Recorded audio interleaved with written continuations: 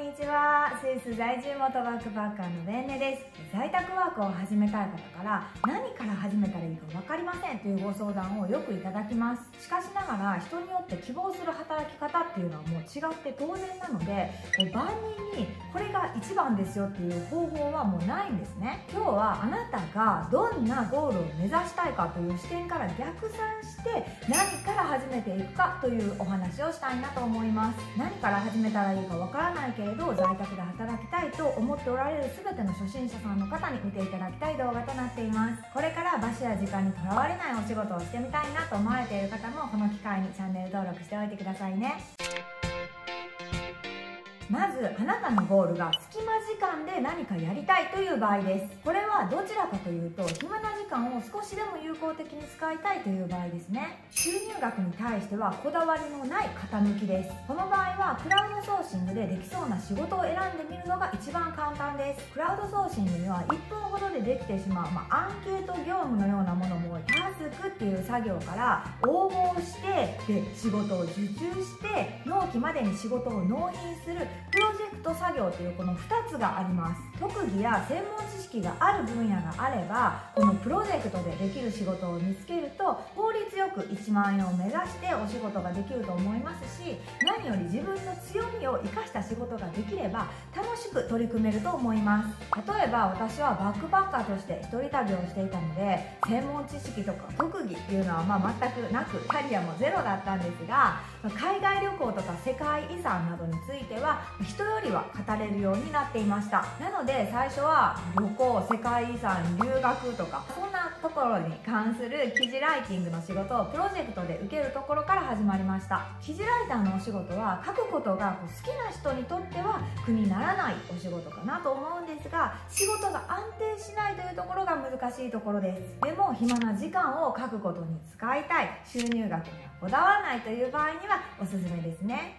ちなみにライティングだと最初は1文字0.1円から0.3円のスタートになりますので1000文字の記事を書いたら100円から300円というところです。そこから評価を貯めて本格的な仕事をもらえるようになると素人でも1文字今0.5円から1円ぐらいを目指すこともできます。対してタスク作業は1つの作業に対して報酬が支払われますがやっぱり単価はどうしても低いです。例えばある決まったキーワードを検索エンジンで調べて最初に出てきた URL をもうとにかくコピーして提出するというような作業で、これったら1.5円ぐらいですね。これも隙間時間を何かの作業に当てたいという方にはいいかもしれませんが単価が低すぎるのでこれだけではまとまった収入にはなりません。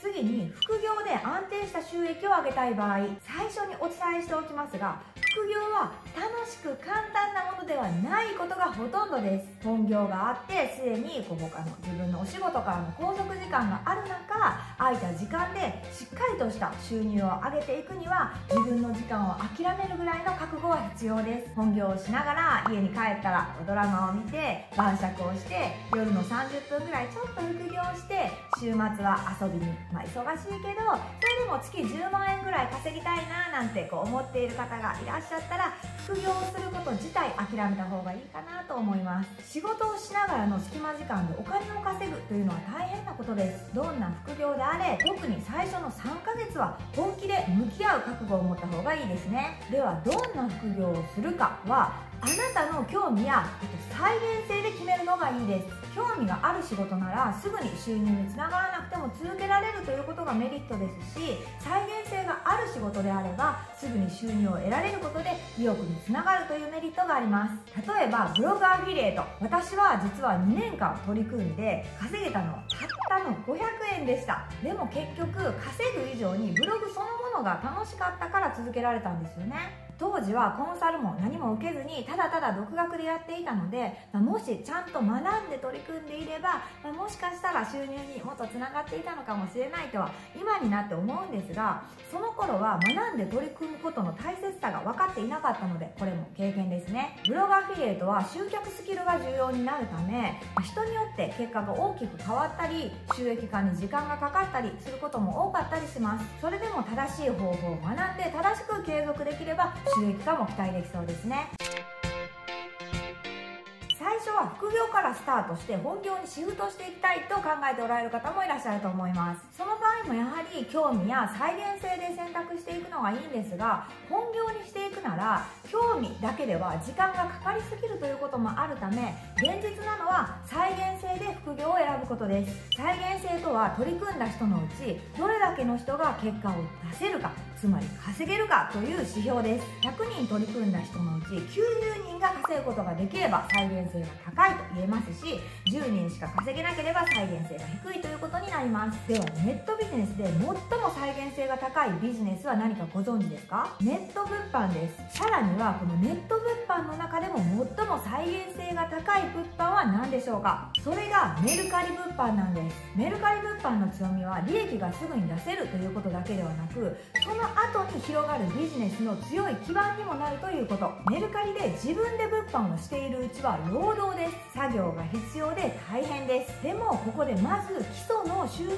基盤を作るとそこから物販自動化外注化さらには利益から投資コンテンツビジネスなど広がり方がもう無限大で収入の柱が立てやすいんです。本業にするには1つの収入の柱では安定しません。複数の柱を立てておくことで安定した収入を図ることができるんですね。それを小さなステップアップで確実に作っていくための初心者のスタートにはメルカリ物販以上に適したビジネスはありません。私の公式 LINE ではメルカリ物販の中でも最も再現性が高い初心者向けのノウハウを複数紹介しておりおりますのでご興味がおありの方は私の公式 LINE にメルカリ物販と合言葉をくださいね。こちらでは初心者向けの在宅ワークに関する有益な情報を無料で配信しております。登録者プレゼントも登録後すぐにお受け取りいただくことができますのでお気軽にこちらから友達登録してみてくださいね。